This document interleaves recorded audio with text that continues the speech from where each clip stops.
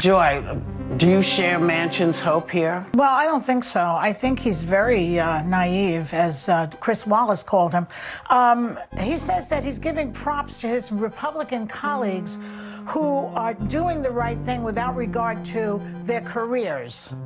That's a very disingenuous remark from Senator Manchin because that's exactly what he's doing. He knows that straddling the uh, the, the I guess the Republican base, but I don't know how to put it. It's not straddling the base. That sounds a little sexual, but by doing what the Republican Party might like, he keeps his job in West Virginia. Is my point. But we're talking about basically saving the country here, and I feel very sad for us and uh, annoyed with him, frankly. Right, right. So if Democrats don't have omnipotent one-party rule power propped up by Democrat state media propaganda, then the country's done for. Welcome back, everybody everybody. Please hit that like button and subscribe. You may have noticed the media losing its mind over the fact that moderate Democrat Joe Manchin has broken with his party and Joe Biden on H.R. 1 and getting rid of the filibuster. President Biden's push for voting rights and his big infrastructure package took a big hit on Sunday from a fellow Democrat. George, when there is a 50 50 Senate and all Republicans are in opposition, Joe Biden needs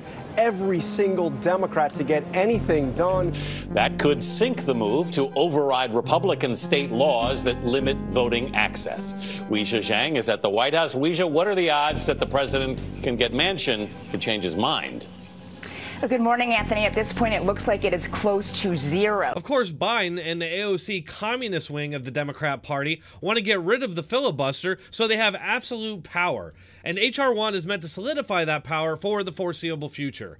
Democrats hate the filibuster when they're in power, but they love it when they're out of power. Manchin can see the obvious problems with this, especially since it's a party line vote with no Republican support. Not even the rhino wing of the GOP is going along with it. For all the talk we hear from the media about saving democracy, they sure are focused on securing one party rule and silencing the voices of over 100 million Americans. Over at the Spew, they're not at all happy about this bipartisanship, which is really weird because they always love the maverick John McCain when he would break from his party. That 100% of the Republicans' focus is to block the Biden agenda. Okay, and isn't that typically what the party out of power does? For the last four years, Democrats opposed and tried to torpedo everything Trump did. They even called themselves the resistance. But here we go again with this complete lack of self awareness and this inability to apply the standards they apply to their political opposition to themselves. It's just a complete lack of self awareness. 100% of the focus. And so it is not only naive to think that bipartisanship in the Senate is possible, it is uh, 100% uh, just dead wrong. And let's think about what's happening in the states. You have uh, 389 bills, 389 bills in 48 states that would make it harder for their own residents to vote in upcoming elections. All of those bills have been put forth by Republicans. Nobody is making it harder to vote in elections.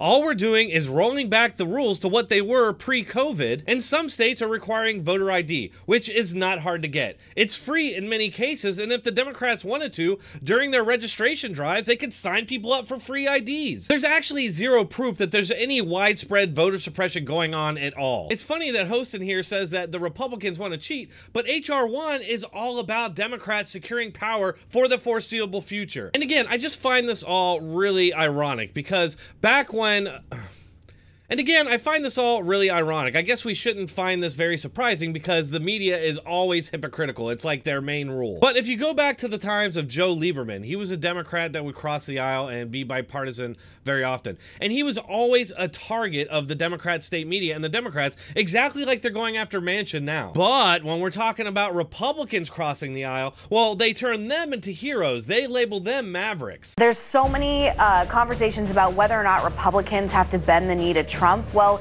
do Democrats have to bend the knee to the squad and everything on the far left? Because it looks like AOC and the squad is dictating who's allowed in your party as well. Something about winning red states, but instead of taking the lessons of Joe Manchin, they'd rather just, you know, uh, call him a heretic and call him a traitor. And by the way, if you're a Republican that votes against your party, you're a hero and a maverick. So the media uh, coverage of him is really interesting, especially for someone like me. Everything Meghan McCain just said right there is 100% accurate. But don't ever expect these harpies, her co-hosts, to ever admit their hypocrisy. They simply don't care that they're hypocrites because they know that nobody's ever really going to call them on it. Yeah, Meghan just did it, but it will have no impact. All right, folks, that's all I have for this one. I'm not feeling great today, so I don't have a lot of time to do a video. But if you enjoyed it, please hit that like button, share, and subscribe, and keep coming back every day. I'll have new videos.